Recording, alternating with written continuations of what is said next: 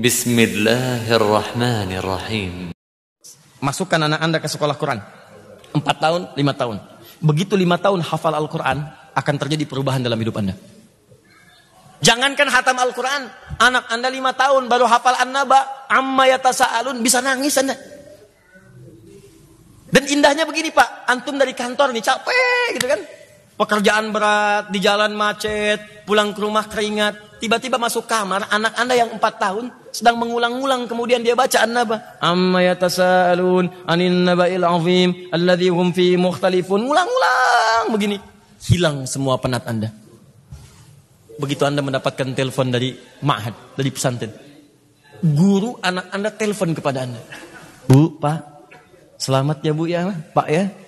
Kenapa Ustaz? Kenapa Ustazah? Sekarang Adinda sudah menyelesaikan hafalan Qurannya. Dia sudah menjadi hafid, dia sudah menjadi hafidah. Anda bisa diam seribu bahasa di telepon, seakan-akan kemudian Anda mendapatkan sesuatu yang tidak Anda dapatkan sebelumnya. Tiba-tiba air mata Anda keluar, sujud jatuh Anda ke lantai. Gak percaya silahkan. Itu baru Qurannya pak. Demi Allah saya katakan. Apalagi kalau yang telepon tuh anak anda.